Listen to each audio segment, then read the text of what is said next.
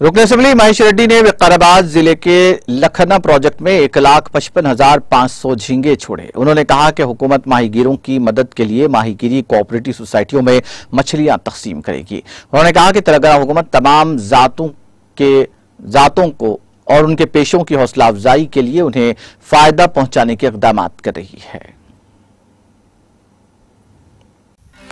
नाजरीन, हमारे TTV news को सब्सक्राइब करिए बेल आइकॉन को प्रेस करिए शेयर करिए और लाइक करना ना भूलें। और किसी एडवर्टाइजमेंट से मुतल जानकारी के लिए हमारे इस नंबर पर कॉन्टैक्ट कीजिए। हमारा नंबर है nine double five zero one zero two zero two zero